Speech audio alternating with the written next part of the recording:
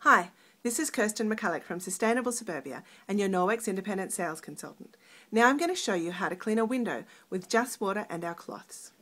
Now I'm going to put the camera down, sorry, so you can see the window here.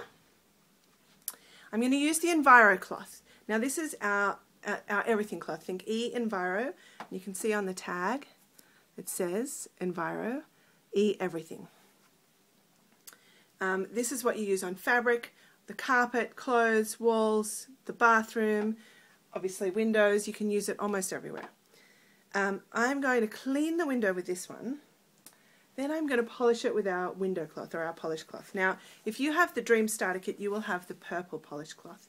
I um, got this as a host gift. This is a host-only colour in Australia, and I got it as at my first party that I hosted. So this is the one I'm going to use to polish. Um, you, the, the EnviroCloth comes in four different colours, green, blue, yellow and pink. In the Dream Starter Kit I think you get blue and green.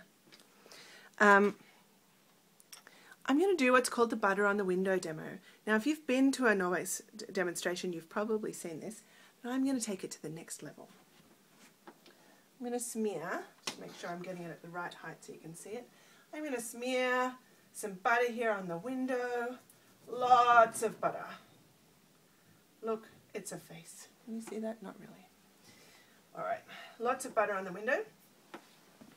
Lots of butter on my fingers. I'm going to add to that, whoops, now it's all on my hands, some Vegemite. Let's put a, a, some eyes in there and a smile, and then let's smear that around too. Some nice Vegemite, because butter is not enough to have to clean off your window, is it? And now, sorry, I'm going to add the next level, which is surely honey. Honey to make it not just greasy, not just disgusting, but also sticky. Whoa, and I've dropped some on the windowsill. Lucky it didn't go on the carpet. I'd be in trouble. Not really, because the EnviroCloth would take that off too.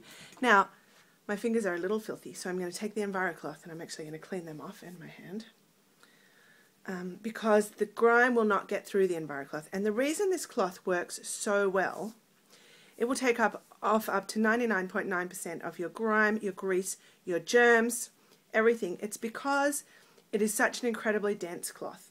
The Norwex microfiber is very, very fine. It's a 200th of the width of a human hair, which is much finer than normal microfiber. The way that is then woven into this cloth means it will pick everything up off a surface um, as I said, I, it would probably take the honey off the carpet, no problem, if that's where it had fallen. Now I'm going to just wipe it off, then I'm going to polish it. So this is damp, this EnviroCloth. And I don't know if you can see that, but where the honey is, is where it's stickiest. And because there's so much grime there, I am actually going to do, look at that, I'm actually going to do um, I'm going to fold the, so can you see how dirty that is? I'm going to fold that in the other way. So I've got a clean surface. And then you can see how much easier that's coming off now.